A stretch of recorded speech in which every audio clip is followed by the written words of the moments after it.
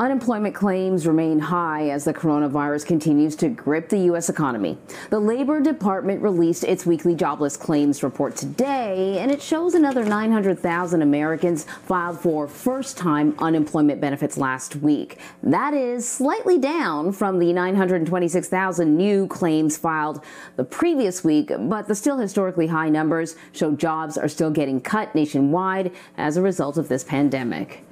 So uh, it all comes, of course, as stocks continue to rise. Yesterday, investors placed more bets on additional coronavirus related economic relief from the new Biden administration. For more on this, let us bring in Melissa Armo. She is the founder and owner of the Stock Swoosh and joins us now to make sense of these numbers. So, of course, the first kind of umbrella question is what are the factors driving these numbers?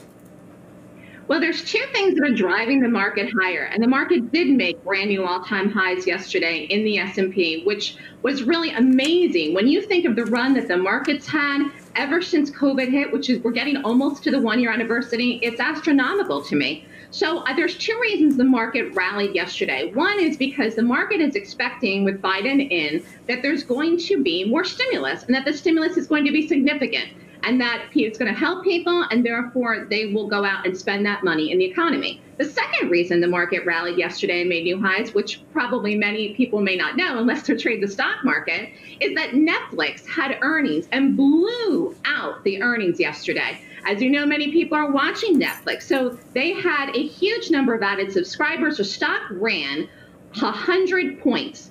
That is a huge move for the stock. That made brand new all time highs. That sector, Amazon, Netflix, all that sector, that moves the market. And so that lifted the market. And again, today we're flirting with the highs. So people are investing their money in the market. And one of the reasons is they're optimistic that things are going to improve. Yeah, um, the markets are continuing their upward trajectory, Melissa, as you know, and it just uh, reminds me of the fact that uh, President Trump, the former president, uh, often claimed that the minute that uh, his successor took office, the market would crash. Obviously, we're not seeing that, and I never expected that we would. But let me ask you so that's the market. What is the current state of the U.S. economy? You mentioned the stimulus. How is that going to revive the U.S. economy? Well, the stimulus is a big, big rollout. I don't know if they're going to get all of it passed, to be honest with you. There are so many things involved with there with spending money. The question is, is Congress going to pass it? One of the important things for regular people to realize, especially people that are out of work, is one of the things in the stimulus is to uh, increase the unemployment extra $300 back to 400. Remember last year was at $600 extra week. Then they dropped it down in December to 300. So it's going to be bumped up $100 a week if that gets passed, and that will help people out of work. The other thing that's in that program to help people that are unemployed, which you saw you saw today, the numbers are still 900 some thousand. That's a big number. Is that they're going to uh, extend the mortgage uh, foreclosure deadline and the evictions until September 2021, if again this gets passed.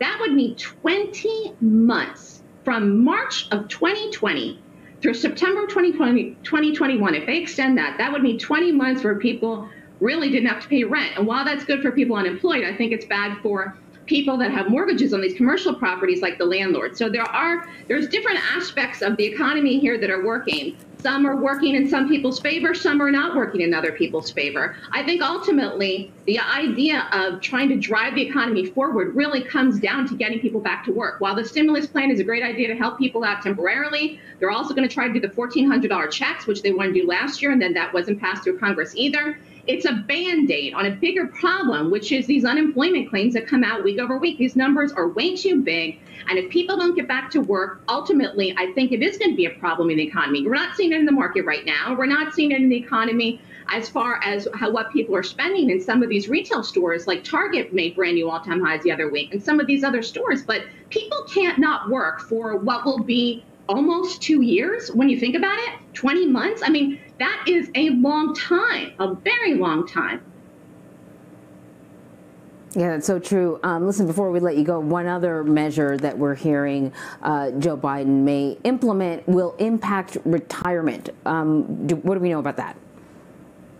Well, as far as retirement goes and what people should be invested in, uh, just like Vlad was saying, the market's mostly bullish over the whole life of the market. For a very short period, remember this was a long, long time ago, back in the, the downturn when the bank collapse happened in, in 2008 into 2009, then the market was bearish, but we, we quickly rallied ever since then. The market, most of the life of the market is in an uptrend and will remain in, a, in an uptrend because there's a lot of IRA money, uh, 401k money, long-term investments where people have the retirement savings in the market. If people are looking to invest, though, I would focus for the retirement on specific stocks like Netflix right now. It's a great example. That stock is flying. My target on Netflix is 700. That's 100 points from where almost it closed yesterday. But don't think the stock can't do it. The stock was over 700 six years ago, back in 2015, before the stock split. So I would focus on specific stocks even for retirement investments. And if you don't know what those are, and if you're not a trader or investor, and if you can't read a stock chart, then get with your financial advisor to say, listen, I don't want to put all my money in the S&P. I want to divvy it up. Maybe you put some in Apple. Maybe you put some in Amazon. Maybe you put some in Target, like I said, which was another strong stock. Stocks that are